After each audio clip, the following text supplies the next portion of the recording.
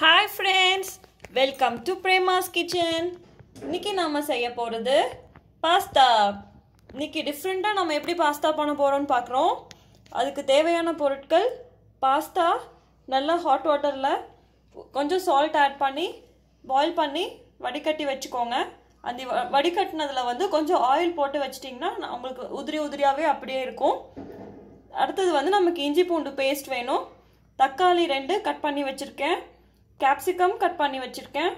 கொத்தமல்லி கேரட் அப்புறம் பர்பிள் கோஸ் வச்சுருக்கேன். வெங்காயம் மூணு.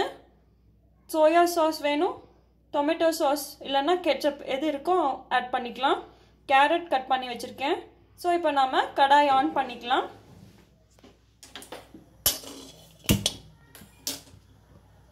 தேவையான அளவு ஆயில் ஆட் பண்ணிக்கோங்க.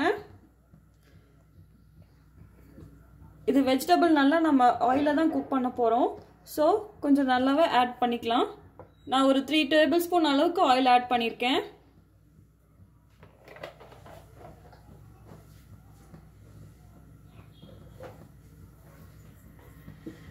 ஆயில் சூடானதும் ஆனியன் ஆட் பண்ணிக்கலாம்.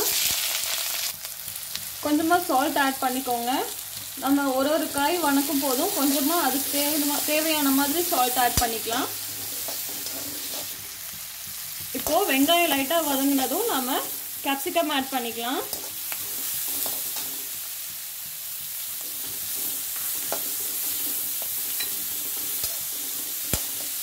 இஞ்சி பூண்டு பேஸ்ட் ஆட் பண்ணிக்கலாம். பேஸ்ட் இல்லைன்னா நம்ம வந்து இஞ்சியும் பூண்டையும் நல்லா துருவி கூட ஆட் பண்ணிக்கலாம். நல்லா அதுவும் ஒரு நல்ல ஃப்ளேவர் கொடுக்கும்.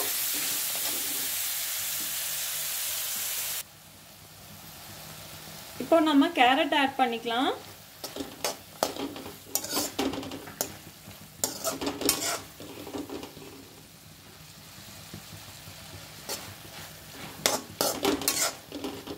தக்காளி ஆட் பண்ணிக்கலாம்.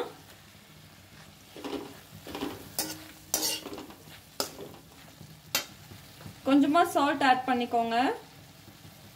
ஆல்ரெடி நம்ம வந்து பாஸ்தா குக் பண்ணும்போது கொஞ்சம் சால்ட் ஆட் பண்ணியிருக்கோம் ஸோ இந்த வெஜிடபிள்ஸ்க்கு மட்டும்தான் நம்ம கொஞ்சம் கொஞ்சமாக சால்ட் ஆட் பண்ணணும்.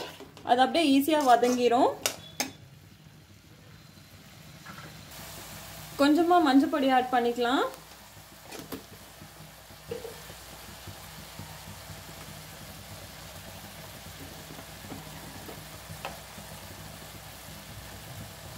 சாம்பார் தூள் ஒரு ஸ்பூன் ஆட் பண்ணியிருக்கேன்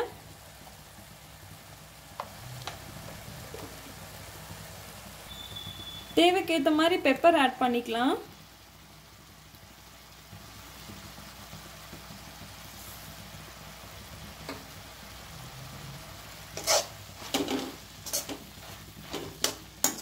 இதில் வெஜிடபிள்ஸ் வந்து ரொம்ப குக் ஆகக்கூடாது.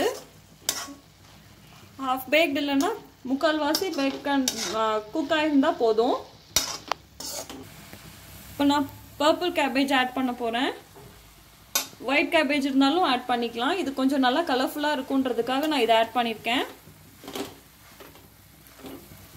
முட்டைக்கோஸ் நல்லா வதங்கியாச்சு. இப்போ நம்ம கொஞ்சமாக கறி மசால் பொடி ஆட் பண்ணிக்கலாம்.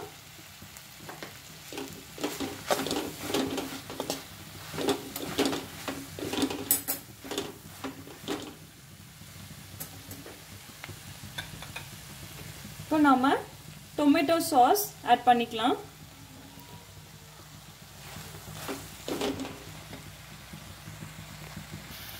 ஒரு ஹாஃப் அ டீஸ்பூன் நம்ம சோயா சாஸ் ஆட் பண்ணிக்கலாம்.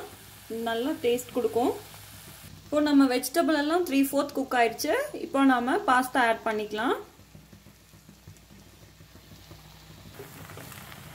நம்ம கலர்ஃபுல்லான பாஸ்தா ரெடி ஆயிடுச்சு. இப்போ நம்ம லாஸ்ட்டாக ஒரே ஒரே ஒரு சின்ன கியூப் அளவு பட்டர் ஆட் பண்ணி நாம் அப்படியே ஆஃப் பண்ணி வேண்டியதுதான். கொத்தமல்லியை ஆட் பண்ணிக்கலாங்க.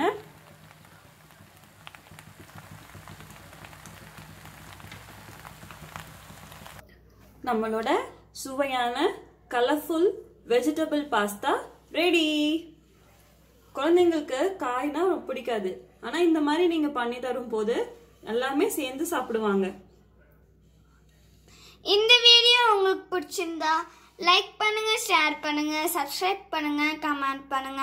மறக்காம பெல் பட்டனையும் ப்ரெஸ் பண்ணுங்க. Thank you bye